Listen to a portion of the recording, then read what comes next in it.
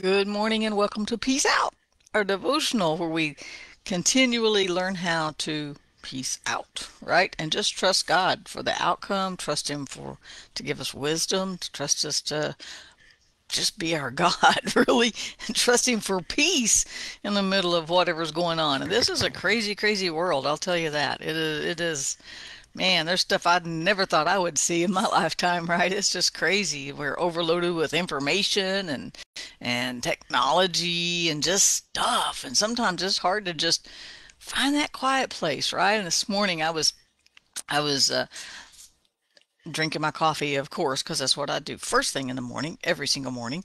And uh, my brain was just running with all these things. I mean, you know, I got a I got a busy day. I'm gonna take Chris to get a haircut. Yay! Trim up that little beard and hopefully keep it. So then I gotta do this and do that and and this project and that and I gotta need to do this. I need to do that. Oh, I gotta check that. My brain and I was like, whoa! Can you just reel that all in for a minute, right? My brain was just all over all these little elements that make up my story. And I'm not going to give you all the details because I know that you've got all those elements that make up your story too, right? But there is there's there's so many relate and really if you think about it, we have all these different I'm going to say relationships. We have relationships with people, of course. That's that's number one, and because that's going to last, because people are going to be in eternity. But all our other stuff, our money, our houses, all that stuff, when we die, well, they ain't going to be there. But our friends, if we're saved, we're all going to be in heaven together someday, right? So we're going to have so people last forever. All this other stuff doesn't really matter, right? But we have a relationship with food, yeah, I have too much of a relationship with food right this minute. I'm working on tailoring that relationship, right? We have relationships with with our money, how we spend, how what we spend it on. You can do emotional spending, emotional eating. You know, things can get out of balance so easy in that area, in either of those areas, in food and and money. We have relationships with people, of course. Uh, you know, we have relationships with, and and those relationships can be broad, right? We have people that are we just met. Uh, we have like I have my neighbors. I wouldn't call them my friends hope that doesn't hurt their feelings, not like they watch, but I have a certain surface relationship with them and I want to, I'm a part of this community in our complex, you know, so I talk to my neighbors.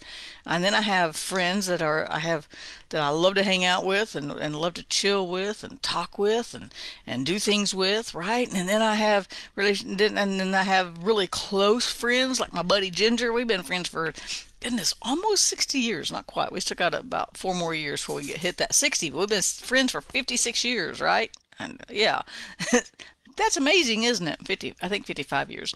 You know, and so uh, there's all these different elements and different different pieces to all these different puzzles and all these puzzles have to come together in some way to create our lives and and in some way to create our stories and so we have all these different and and each of those elements can just be can present so many complexities just in itself. Relationships with people our finances our jobs our our our kids our family our our just our lives our hobbies what we like to do what we don't like to do all these things what we like to eat don't like to eat all these all of these little each element has its own set of complexities that we have to work through. And that's why our brain starts, my brain was going, whoo, through all these things this morning. And I went, whoa, I need to just reel this in, right? And so I thought, you know what? There is a place for my soul to go.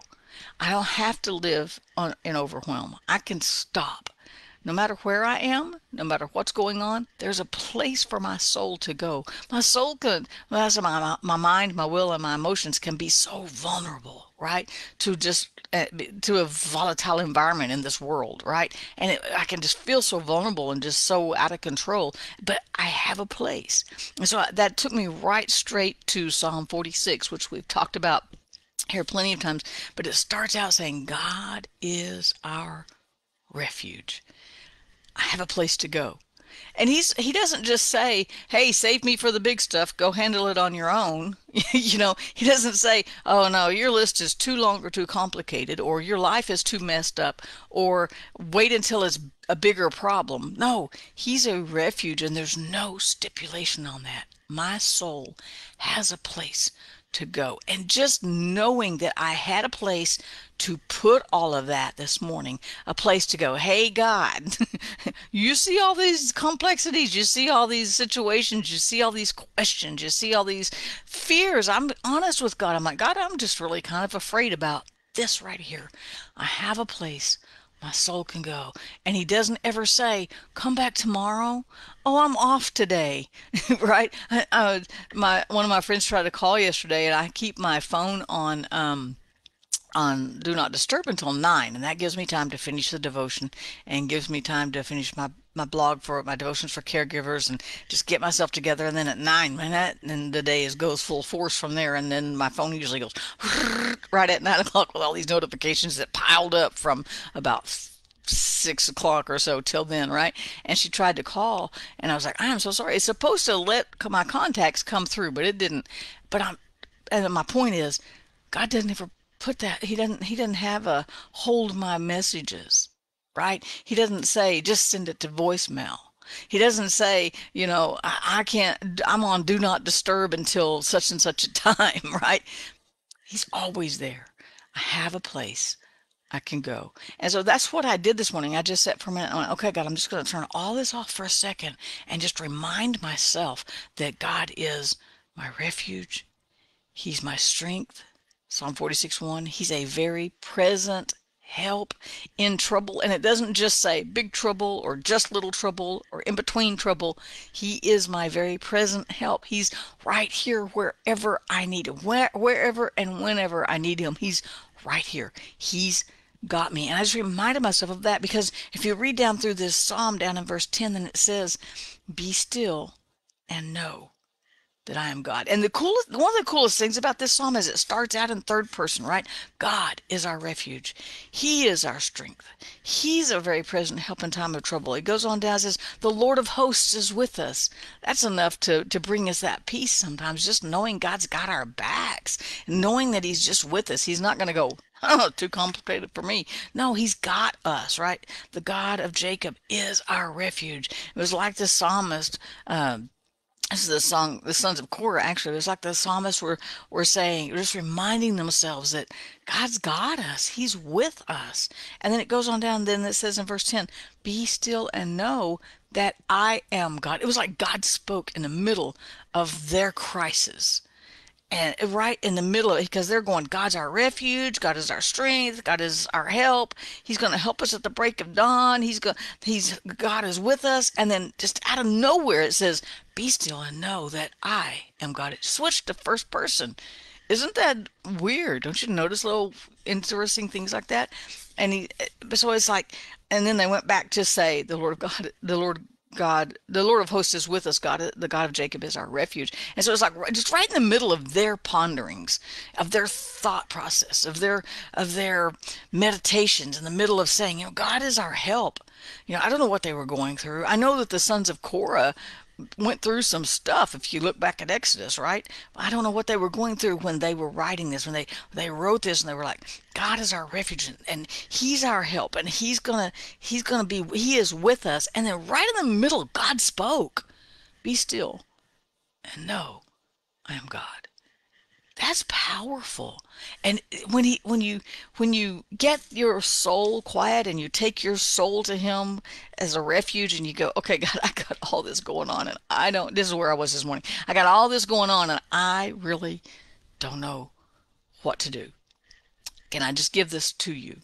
And he just he just takes it and goes, "Just know I'm God. Just know I've got you. Just know I've given you peace. Just know nothing can overtake you." It doesn't, it's not even death because in death, what happens? We don't have to fear death. Why? Because when we die, this body just falls off and we're just with him. We have nothing to fear. What, you know, what can, what, what can man do to us when God is our refuge? So I just reminded myself today, I reeled in all those thoughts because they were crazy and all over the place. Reeled in all those thoughts. Just reminded myself that God is with me. God has me. And no matter what all these details are in my story, I still have a place to go. There's a place for my soul to go. God is my refuge, and all I have to do is just stop for a second, be still, take that peace, and just know that He's still God. No matter what's going on, or no matter what's not going on that we need to go on, God is still our refuge. There's a place for our soul to go where we can be refreshed in the middle of the storm, where we can be we can be fulfilled in the middle of a battle, where we can be full of peace in the middle of, of a, a world that's in turmoil because God is our refuge. And all we have to do is be still and know that He's God. I encourage you today, just stop for a minute. Just stop for a second and go, okay, God, I see all these story elements. I know you see all my thoughts. And I just need a place for my soul to go where I can experience that peace. And I promise you, He will meet you there and He will be your peace. So you can just peace out, right? Peace out. Have a great day. I'll see you tomorrow.